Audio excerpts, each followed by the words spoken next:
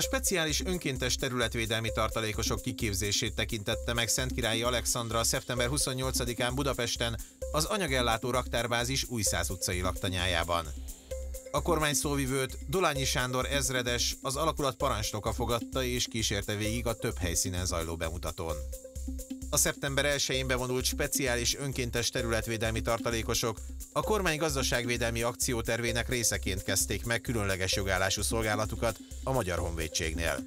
Fontos volt az, hogy amikor a koronavírus járvány beütött, akkor tudjunk alternatívát kínálni azoknak is, akiknek megszűnt a munkahelye, vagy emiatt nehézségeik támadnak.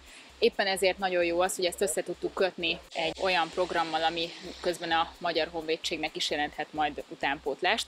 Azok az emberek, akik részt vesznek ebben a programban, 3 plusz 3 hónapos képzést kapnak, és ez azért hasznos nekik is, mert úgy tudnak belekóstolni ebbe a világba, ebbe az életbe, hogy közben nem kell hosszú távú elkötelezettséget vállalni. Most éppen egy fegyver szét és összeszerelést látunk, amit elég sokat gyakoroltunk az elmúlt napokban, hetekben. Azt gondolom, hogy ez a, a katonaságnak az alapja, hogy az ember a fegyverét megfelelő, megfelelő formában tudja kezelni, hogyha kell, akkor pillanatokra szét tudja szedni, azt tudja rakni, meg tudja tisztítani, tehát használatra kész állapotban tudja helyezni, hogyha szükséges, akkor tudja használni.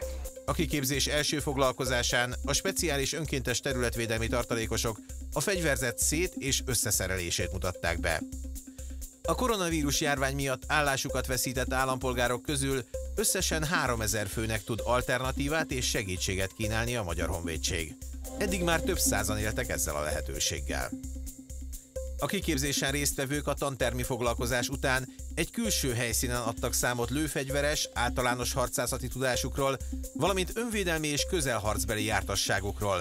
A bemutatók sorát újraélesztési gyakorlattal zárták. Thank you.